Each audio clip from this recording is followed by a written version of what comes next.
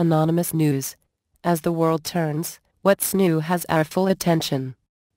Courage is contagious. Join us to post what mainstream media will not. The truth.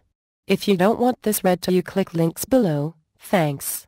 FCC mulls whether police should be able to black out cell phones. Friday, March 2, 2012. The Federal Communications Commission, FCC, issued a request on Friday for public comment on whether government agencies should be allowed to block access to cell phone networks. The request stems from an incident last summer when a San Francisco transit agency shut off the transmitters that allow for cell phone reception for underground subway stations to disrupt a planned protest over a police shooting.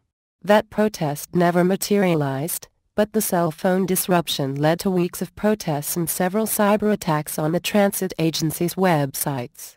Civil liberties groups condemned the blackout as an intrusion on free speech and compared it to crackdowns in Egypt and other authoritarian regimes. The FCC said it would probe whether the action was legal. Our democracy, our society, and our safety all require communications networks that are available and open. FCC Chairman Julius Genachowski said on Friday. Any interruption of wireless services raises serious legal and policy issues and must meet a very high bar. The FCC, as the agency with oversight of our communications networks, is committed to preserving their availability and openness, and to harnessing communications technologies to protect the public. After consulting with FCC officials, Bay Area Rapid Transit, BART, the San Francisco agency issued a policy statement that it would only block cell phone service in extraordinary circumstances, such as to prevent a bombing or violent protest. The FCC asked for comments on the circumstances that would justify a cell blackout and whether the blackout would be effective in protecting public safety.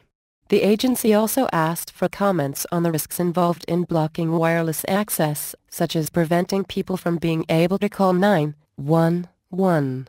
The agency also asked what legal basis provides the authority to shut down cell networks and what procedures agencies should follow to avoid abuse. The FCC will accept comments for 60 days and then allow reply comments for another 30 days. The agency will use the comments to determine whether it should provide guidelines to government agencies on blocking wireless access. Your government working to protect you. Hmm. Itself.